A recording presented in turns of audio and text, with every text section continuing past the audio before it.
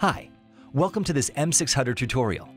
In this video, we will show you how to mount the Zenmuse X series of cameras on the M600. We will be using a Zenmuse X5R in this example. Gently remove the upper cover of the center frame and unplug the fan cable. Unplug the retractable module power cable and remove the lower plate of the center frame. Pull the Zenmuse X Series Gimbal Attitude Cable, CAN, and Gimbal Video Cable, 7-pin, through the reserved holes on the lower plate of the center frame. Connect them to the CAN 1 port on the A3 flight controller and the gimbal port, 7-pin, on the Lightbridge 2 air system. Connect the fan cable and mount the upper cover of the center frame.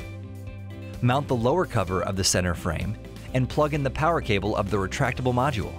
Mount four connectors to the base plate of the expansion bay by inserting and tightening four M3 X5.5 screws.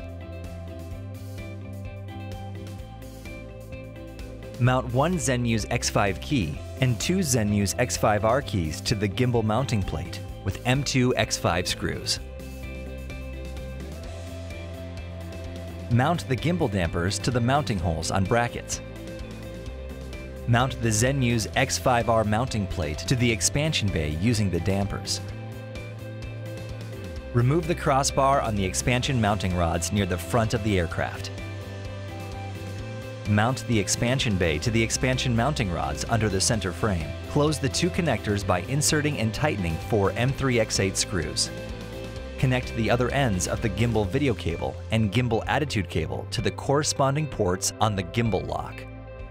Connect the gimbal power cable to the DC-18V port at the bottom of the center frame. Zenmuse X5R installation is complete. Thank you for watching.